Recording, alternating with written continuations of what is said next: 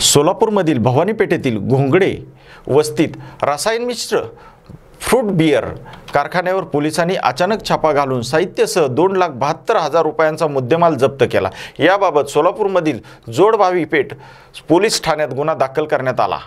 आरोग्याला हानिकारक असणाऱ्या फूड बियरच्या केंद्राबाबत पोलीस आयुक्तालयातील भरारी पथकाला मा ही माहिती मिळाली. त्यानुसार रात्री उशिरा धाड टाकून ही कारवाई करण्यात आली. सोलापूर शहरातील अवैध व्यवसायावर आळा बसावा यासाठी सोलापूरचे नवे पोलीस आयुक्त हरीश बैंजल यांनी विशेष भरारी पथकाची नियुक्ती केली. या पथकाने हा रसायन मिश्रित फ्रूट बियरचा साठा जप्त केला. यामध्ये बॉटल सील करण्याचे मशीन बियर भरलेले बॉटल्स एक माल वाहतूक गाडी जप्त करण्यात आली. दरम्यान घटनास्थळी प्रशासनाकडून तेथील रासायनिक द्रव्य जप्त करण्यात आली. घोंगडे वस्तीतील तीन खोल्यांच्या एका घरात विषारी द्रव्य आणि घाण पाण्याचा वापर करून हे विषारी फ्रूट बियर तयार केली जात होती.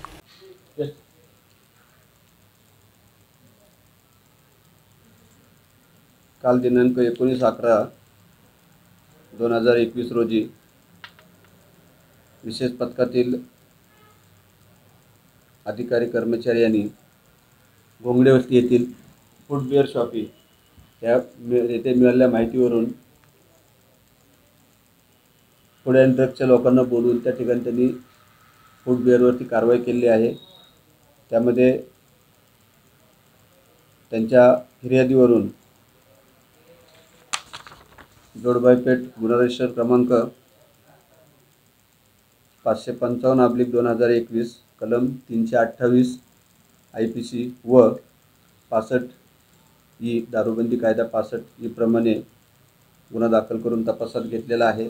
त्यामध्ये एक आरोपी अटक करण्यात आला जो त्या ठिकाणी फुटवेअरची विक्री करत होता.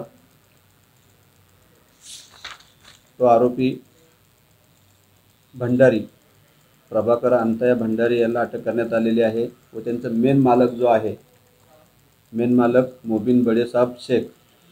राहणार घर नंबर दहा अब्लिक त्रेचाळीस भवानी पेठ हा त्यामध्ये फरार आहे. पुढील कारवाई करत आहोत. एकूण बाराशे सत्तर भरलेल्या बाटल्या लेबल लावून आलेल्या बाटल्या त्या ताब्यात घेण्यात आलेल्या आहेत.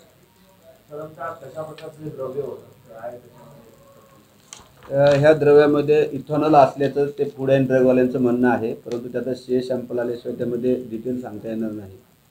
त्यांना परवानगी आहे. बिअर बनवण्याचं आणि विक्री करण्याचं फ्रूट बिअर बनवण्याचं आणि विक्री करण्याचं परंतु त्यामध्ये काय अल्कोहोल काय कंटेंट वापरले ते आपण सी रिपोर्ट आल्यानंतर सांगू शकतो काय त्यामध्ये. मुद्देमाल बाराशे सत्तर बाटल दोन प्लॅस्टिकचे ड्रम एक मशीन आहे आणि एक टेम्पो आहे.